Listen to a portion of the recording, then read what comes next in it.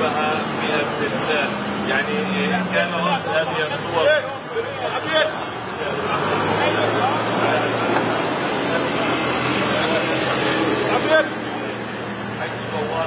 العودة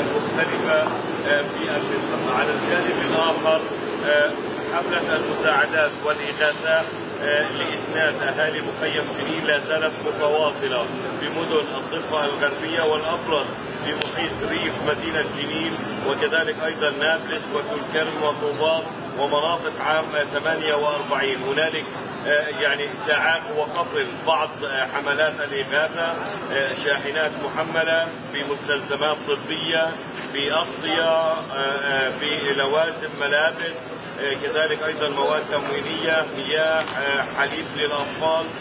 كل ذلك بهدف إسناد الأسر التي نزحت طوال خلال اليومين الماضيين. وبالتالي هذا جانب، الجانب الآخر تتحضر المدينة لتشييع عدد من جثامين الشهداء لهذا اليوم. وبالمناسبة الجثامين لم تكن داخل مستشفى جنين الحكومي تعرضت ثلاجة الموتى لخلل نتيجة الانقطاعات المتكررة في التيار الكهربائي واضطرت الطواقم الطبية لنقل جثامين الشهداء إلى بلدة قباطية إلى الجنوب من مدينة جنين ويجري العمل على التحضير لنقل هذه الجثامين عودة إلى مستشفى جنين تجهيز الجثامين ولاحقا الانتقال في مسيرة التشييع يعني في حدود ما قبل ساعات الظهيرة إذا صارت الأمور وفق ما هو مخطط هنالك ضغط تتعرض له يعني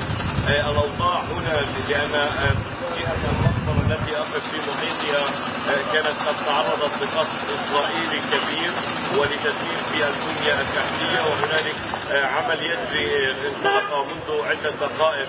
في محيط المقبرة طبعا لنبش القبور والبدء في حفرها.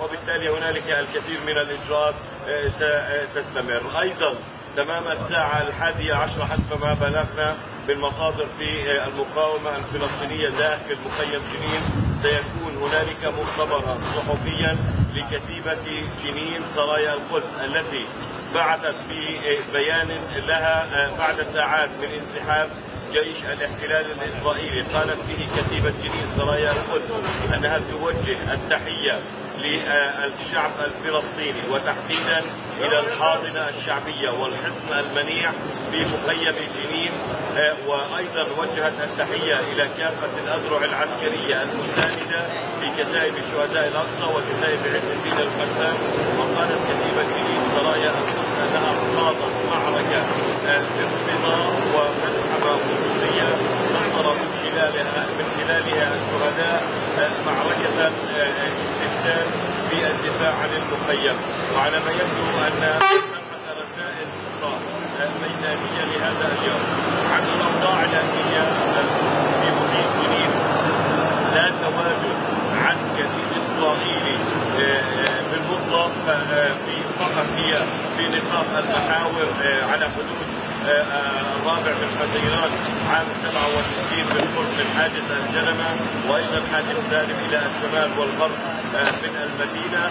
وميدانيا هنا يعني نستمع إلى طائرات الاستطلاع حتى مع انسحاب جيش الاحتلال الإسرائيلي. نستمع على الأقل إلى صوت طائرة واحدة خلال الفترة الماضية كان هنالك طبعا تحليق للشرق من الطائرات الاستطلاع. في والتي تقوم بمهام استخباراتية رصد وكذلك أيضا هجمات باتجاه المقاومين الفلسطينيين. افضل جندي إسرائيلي كان خلال الاشتباكات وتبادل إطلاق النار حسب ما قال الناطق باسم جيش الاحتلال الإسرائيلي، لكن حسن دعني أؤكد من الشواهد الميدانية كما كانت هذه الشواهد بالأمس أكدت مقتل الجندي الإسرائيلي ثمه اصابات أخرى لم يعلن عنها جيش الاحتلال الإسرائيلي تحديدا ما رصدناه لمعدات طبية وعلاجية وإسعافات أولية لجنود الاحتلال الإسرائيلي في أكثر من موقع داخل مخيم جنين. وبالتالي ثمة الكثير من الاسرار ربما لم تكشف بعد ثمة تسجيلات مصورة قالت الأزرق العسكرية أنها ستنشرها في الزمان والوقت المناسبين. تتعلق بعملية التصدي لكن حقيقة داخل الحارات يعني حارات مخيم جنين بدءا من ساحة المخيم إلى حارة الحواشين إلى جورة الذهب إلى خلف الصوحة إلى منطقة الجابريات إلى الفالوجة وإلى حارة الدمج على ما يبدو أن جيش الاحتلال وقع في عدة كمائن بعيدا عن هذا المشهد هنالك حقيقة أزمة إنسانية في هذه اللحظات. الكل يتداعى وهنالك مسؤوليات كبيرة وعمل شاق وطويل الخسائر كبيرة كما قال رئيس بلدية جنين في المنطقة وتتطلب مسؤولية شاملة فلسطينية رسمية وشعبية وفصائلية لتجاوز هذا الدمار الذي حل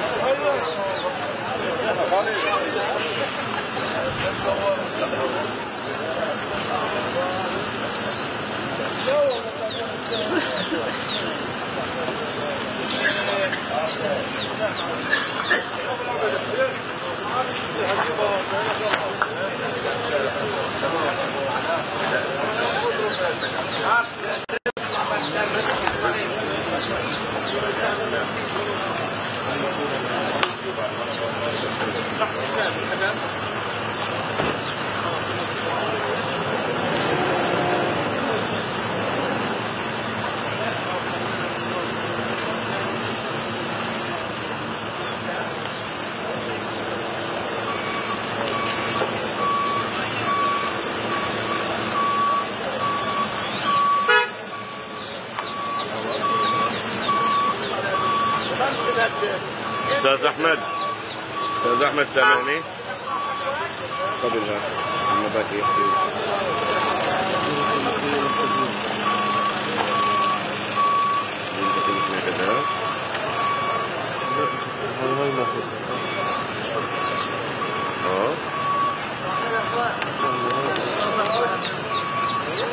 يلا أرجع أرجع أرجع.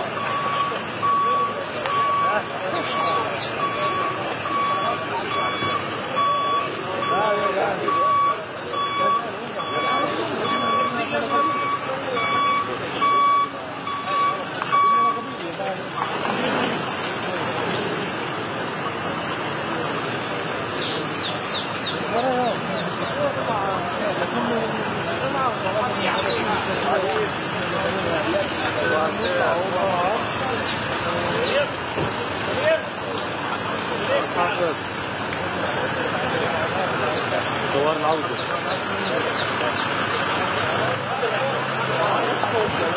وصلت معي في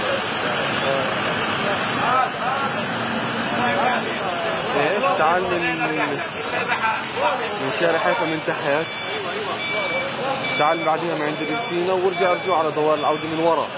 كأنك جاي من مدرسة الوكالة من ورا مدرسة الوكالة أنا وجميل. بس في رويترز هون وهي عارف هو بالي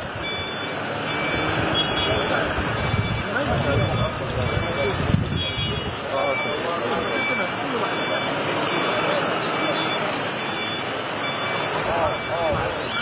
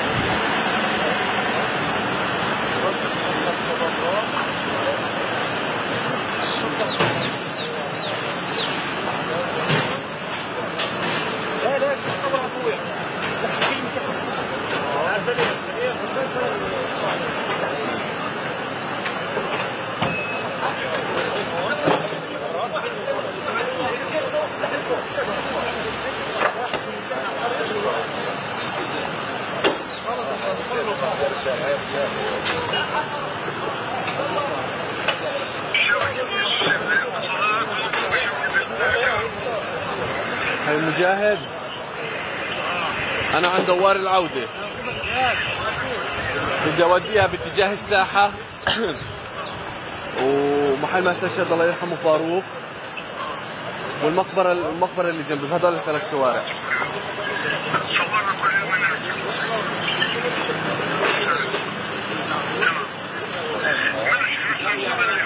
يلا حبيبي بلغني مباشرة.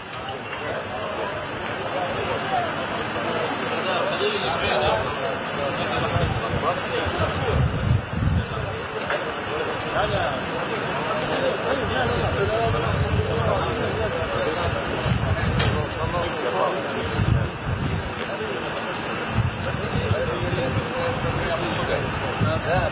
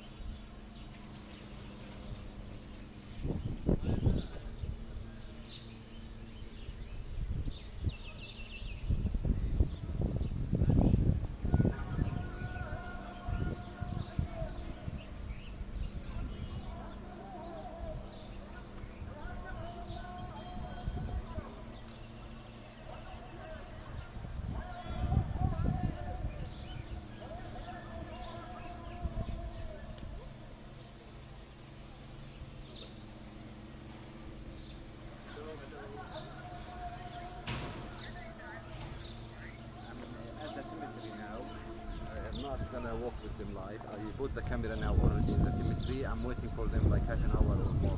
They will be there.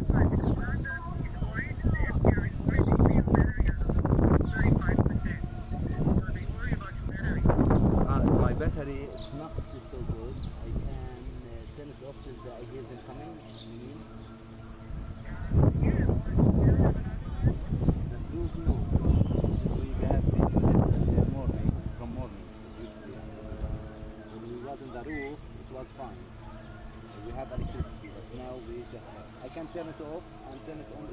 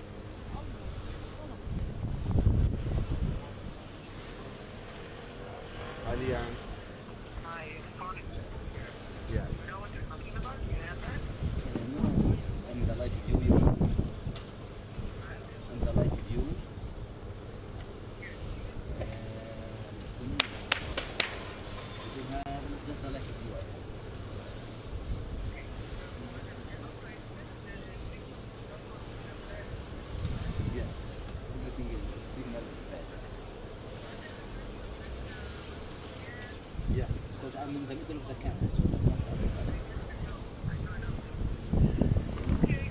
so five minutes they will be here. Okay. I will record also.